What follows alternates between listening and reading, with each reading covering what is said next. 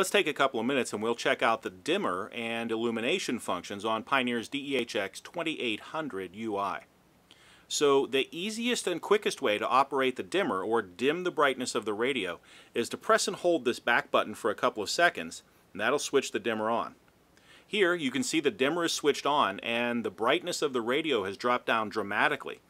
In fact, maybe it's dropped down too low for me and that's dimmer than I want the radio to be. So let's make an adjustment to the brightness of that dimmer setting when it's turned on. I'm going to press in on the volume control and I'm going to roll along here until I find the illumination menu and press enter. Remember the dimmer is still on right now and I want to roll along until I find the brightness setting.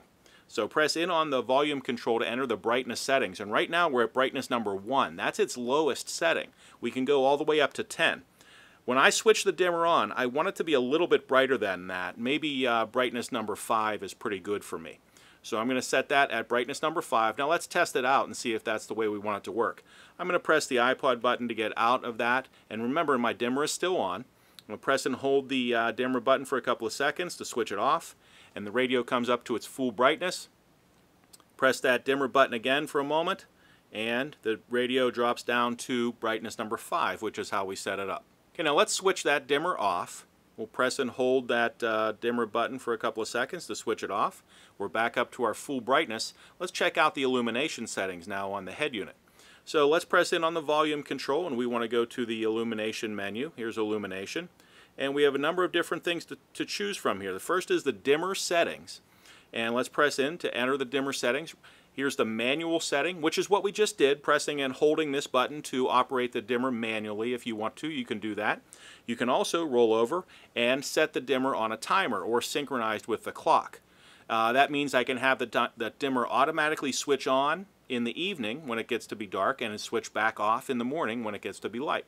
So I can press in on the volume control and this says the dimmer starts at 6 p.m. If you want to adjust that a little bit you can. Press in on the volume control and change the time uh, maybe to uh, 7.30 p.m. So that's when the dimmer will turn on. We'll press in on the volume control again and the dimmer stops or switches off at 6 a.m. but maybe that's a little too early so we'll make that uh, 7 720. There we go, 7.20 a.m. or so, the dimmer switches off. And so now that is synchronized with the clock or set on a timer and will automatically switch on and off for us.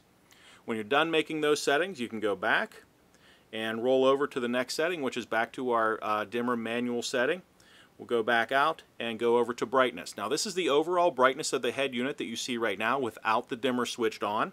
We can press in on the volume control and you can see we're at 10. If that's too bright, you can roll that back and choose a number that works a little better for you. We'll keep it at 10 for right now.